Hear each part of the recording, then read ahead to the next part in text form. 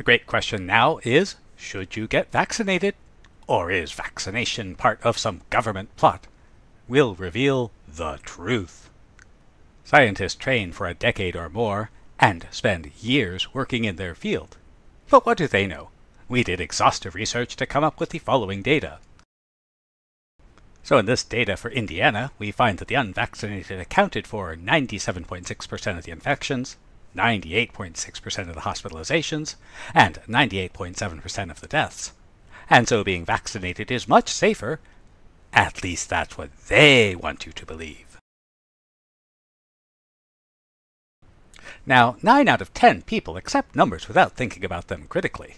And in this case, the important thing is that the number of hospitalizations, infections, and deaths by itself tells us nothing.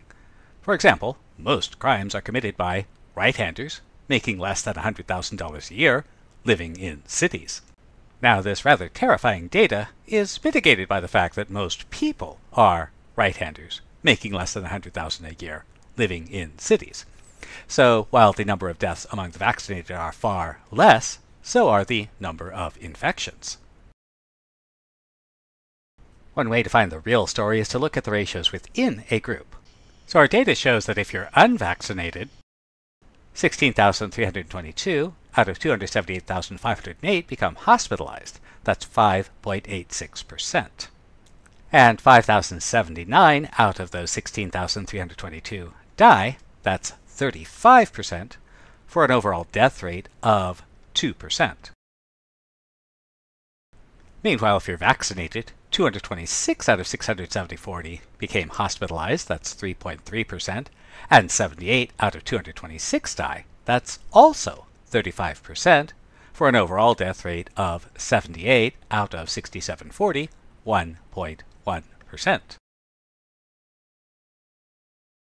As Abraham Lincoln said in a blog post, there are three types of lies lies, damned lies, and statistics. And since it's on the internet, it must be true. Actually, it's statistics used to mislead. And here's the important thing.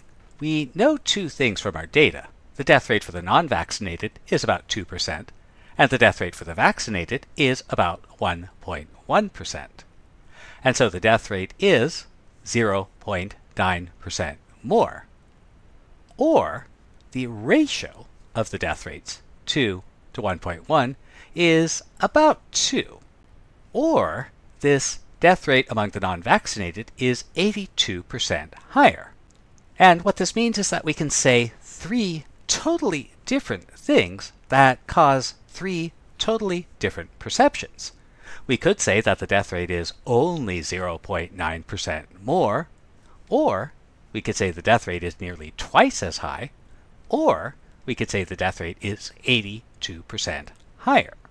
And this leads to another important way to ferret out a conspiracy. Be suspicious of anyone who quotes a statistic without telling you how they computed the statistic. And in particular, be very suspicious of anyone who quotes a percentage without telling you how they computed it. Actually, we still haven't gotten at the truth. The numbers show the chance a case, hospitalization, or death occurs among the vaccinated or unvaccinated, but you can choose whether to be vaccinated or not. And what this means is that what we want is actually the chance that a vaccinated or unvaccinated person contracts COVID, is hospitalized, or dies. Confusing these two things is so common it actually has a name. It's known as the prosecutor's fallacy. Now, buried deep within the article, the eighth sentence, is the additional fact that we need, which is that 44.2% of all Hoosiers are vaccinated.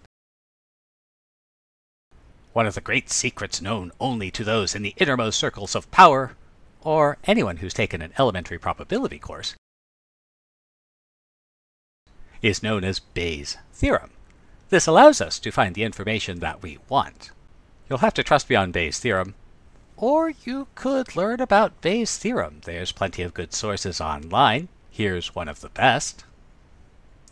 Now, if you haven't learned Bayes' theorem, the numbers that follow might seem unbelievable, so it's helpful to build some intuition.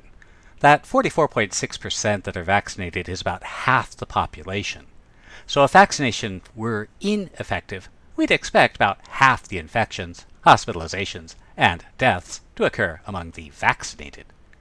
But we're not seeing that, and since far less than half occur among the vaccinated, this means that their risk is correspondingly lower, and the risk of the unvaccinated is much greater. Well, let's see what those numbers actually are. Without going into the details, we can use Bayes' theorem to compute what's known as a likelihood ratio. In this case, we might want to know the increase in probability of infection given that a person is unvaccinated. So, given our data, we know that the chance an infected person is vaccinated is 2.4%, while the chance an infected person is unvaccinated is 97.6%. Also, the fraction of the population that's vaccinated 44.2%, and the fraction of the population that is unvaccinated, 55.8%. And again, without going into the details of the computation, these numbers tell us that the unvaccinated are 32 times more likely to be infected. We could run a similar computation for the hospitalization rates. So the chance that a hospitalized person is vaccinated is 1.4%, the chance that a hospitalized person is unvaccinated, 98.6%, and the fraction of the population that's vaccinated or unvaccinated doesn't change. And again, without going to the details of the computation, but they're here for anybody who wants to check them, we find that the unvaccinated are about 56 times more likely to be hospitalized. And finally, the death rates. The chance that a death is among the vaccinated is 1.3%, the chance that a death is among the unvaccinated is 98.7%. Again, our vaccination rates aren't changed, and we find that the unvaccinated are about 60 times more likely to die. And now, what you've all been waiting for the truth. Is there a great conspiracy behind the vaccination effort? Yes, absolutely. As the numbers definitively, absolutely, certainly prove beyond a shadow of a doubt, Doctors, epidemiologists, and government officials, and mathematicians have organized and implemented a vast plot to minimize the risk of hospitalization and death from COVID. The truth is out there.